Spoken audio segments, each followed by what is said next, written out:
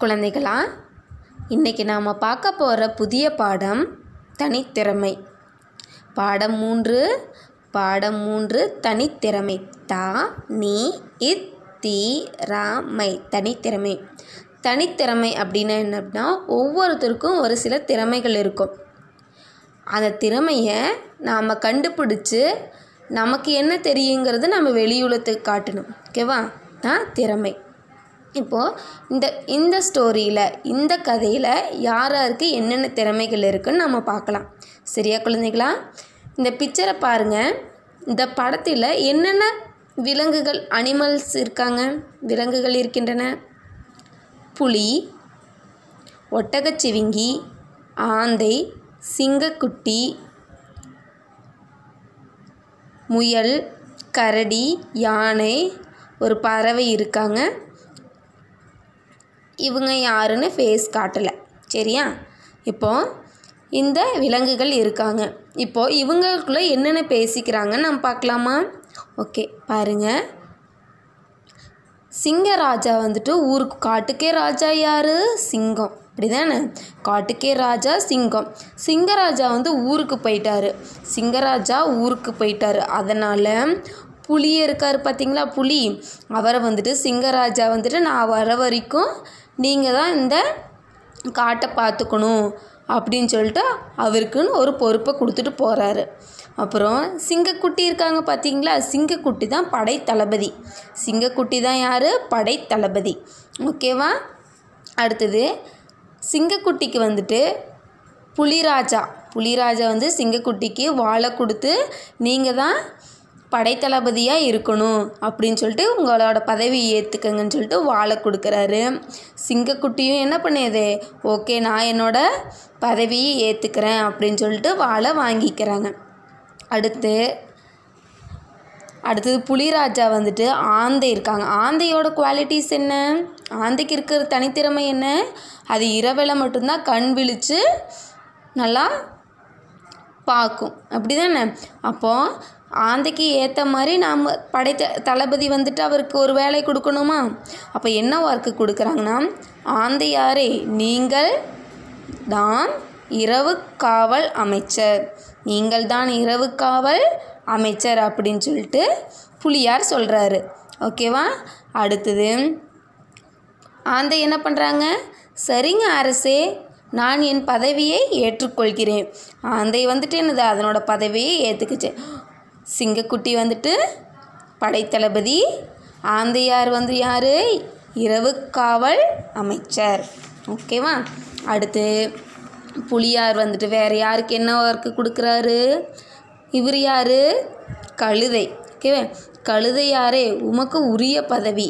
உங்களுக்கு என்ன பதவி கொடுக்கலாம் அப்படின்னு சொல்லி கேக் சொல்லும்போது கரடி என்ன பண்ணுறாரு கரடி என்ன பண்ணுறாரு ராஜாவே ராஜாவே இந்த கழுதை ஒரு முட்டாள். இந்த கழுதை ஒரு முட்டாள். கழுதையால் எந்த ஒரு பயனும் இல்லை.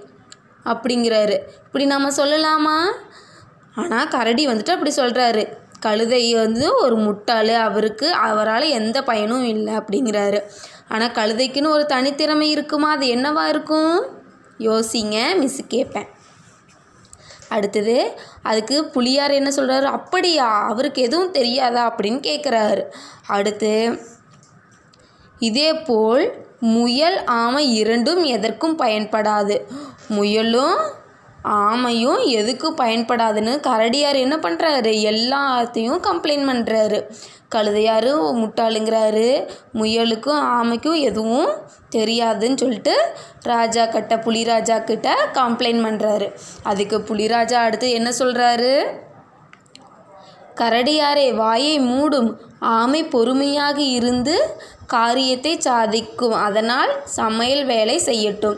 ஆமை எப்படி இருக்கும்?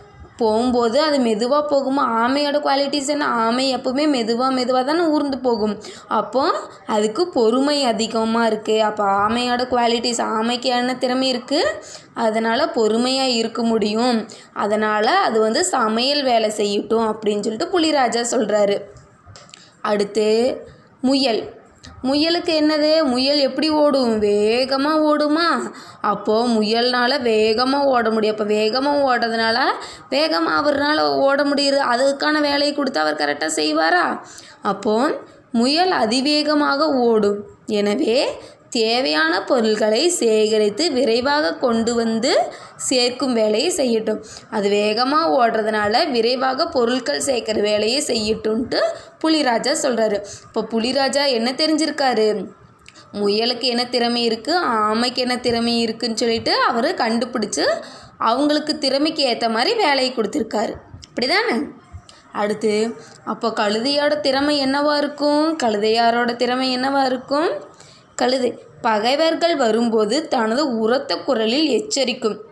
கழுதை கணைக்குமா அதனோட சத்தம் எப்படி இருக்கும் ரொம்ப அதிகமாக சத்தமாக கேட்குமா அதனால் பகைவர்கள் எதிரிகள் வரும்போது கழுதை வந்து சத்தம் போட்டுச்சுன்னா நம்ம பகைவர்கள் வராங்கன்னு தெரிஞ்சுக்கலாம். அதுக்காக அவருக்கு பணி அவருக்கு என்ன ஒர்க்கு கொடுக்குறாரு? எச்சரிக்கும் பணியை கொடுக்கறாரு. எச்சரிக்கும் பணியை கவனிக்கட்டும் என்று கூறினார் புலிராஜா. புலிராஜா வந்துட்டு கழுதைக்கு பகைவர்கள் வந்தால் எச்சரிக்கும் பணியை கொடுக்கறாரு. சரியா? இப்போது யாரையும் குறைவாக எடை போடக்கூடாது. இப்போது புலிராஜா வந்துட்டு கரடிக்கிட்ட என்ன சொல்கிறாரு யாரையும் குறைவாக எடை போடக்கூடாது. அவர்களிடம் உள்ள திறமைகளை அடையாளம் காண வேண்டும் அவர்களுக்குன்னு ஒரு திறமை இருக்கும்ல அந்த திறமையை ஃபஸ்ட்டு நாம் என்ன பண்ணணும்? அடையாளம் கண்டுபிடிச்சு அவர்களுக்கு உரிய வேலையை கொடுக்க வேண்டும். சரியா? நீ அப்படின்னு சொல்லணும். அதுக்கு கரடி ச கரடி என்ன சொல்கிறாரு நீங்கள் சொல்வது சரிதான் அரசே. இப்போது நான் தெரிந்து கொண்டேன். நீங்கள் சொல்கிறது கரெக்டு தான். இப்போ நான் தெரிஞ்சுக்கிட்டேன் அப்படின்னு சொல்லிட்டு அவரோட அறியாமையை நினைத்து வருத்தப்படுறாரு கரடி. ஓகேவா? இதிலிருந்து மாரல் ஆஃப் த ஸ்டோரி நீங்கள் என்ன தெரிஞ்சுக்கிட்டீங்க? கதையினோட நீதி என்ன சொல்லுங்கள் பார்க்கலாம். நீதி கருத்து. ஒவ்வொருவருக்கும் தனித்திறமை உண்டு. உங்களுக்கும் ஒரு தனித்திறமை இருக்குதானே? ஒவ்வொருவருக்கும் ஒரு தனித்திறமை உண்டு. அதை அறிந்து சூழ்நிலைக்கு ஏற்ப பயன்படுத்த வேண்டும். உங்களோட தனித்திறமை என்னவோ அதை அறிந்து கொண்டு சூழ்நிலைக்கு ஏற்ற மாதிரி நீங்கள் பயன்படுத்த வேண்டும். சரியா? அப்படி சூழ்நிலைக்கு ஏற்ற மாதிரி உங்களோட திறமைகள் பயன்படுத்தினா கண்டிப்பாக வெற்றி நமதே. சரியா குழந்தைகளா? இந்த கதையை ஒரு முறைக்கு இருமுறை படித்து பார்க்கவும். Okay thank you